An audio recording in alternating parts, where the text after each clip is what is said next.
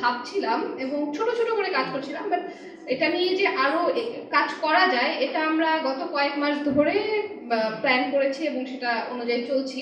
আজকে আমরা এই মিটআপটা করার মেইন প্ল্যান হলো যে প্রথম আলো কয়দিন ধরে কে পপ নিয়ে বেশ ঘাটাঘাটি করছে কে পপ ফ্যানদের দেখতেছে। তো এটা খুবই ইন্টারেস্টিং হচ্ছে ব্যাপারটা।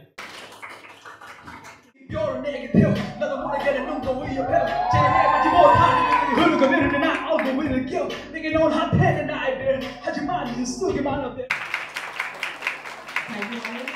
দুই হাজার ষোলো থেকে আমি কিছু কে পপ ফেস্টিভ্যাল হয় বাংলাদেশে ঢাকাতে যেগুলো। ওগুলোতে আমি অ্যাটেন্ড করি পার্টিসিপেট করি কম্পিটিশনে তো ওখান থেকে আমি আস্তে আস্তে ইমপ্রুভ করা শুরু করি আমার ড্যান্স ড্যান্সের কোরিওগ্রাফি সব কিছু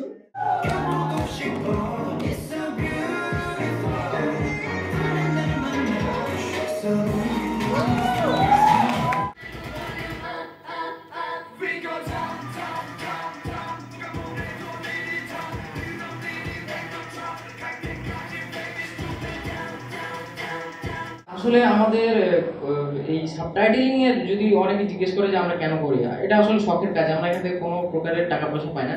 নিজে থেকেই আমরা সময় ব্যয় করি, আমাদের নিজের সময় বের করি।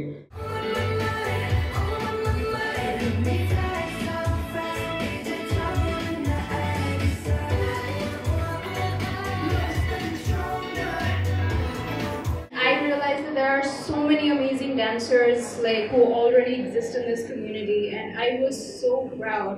যে there are so many people who love this, and আমি কোনো চিন্তা করিনি যে বাংলাদেশের মতো একটা জায়গায় where dancing is seen in some way like it, it's not encouraged to people অত বেশি like you know how music should is encouraged and we kind of when I see passionate people you know like about dancing যখন এত passionately ওরা তাদের কাজগুলো করছে তখন খুবই ভালো লাগে and I was very lucky to be you know around such people who are so passionate about their um, work so um, yeah um, getting back to Prothomalo, I mean your work has been incredible I mean I mean every single time I see like Prothomalo coming up with a new article I'm like yes 누구도 그랬으니까 괜찮다는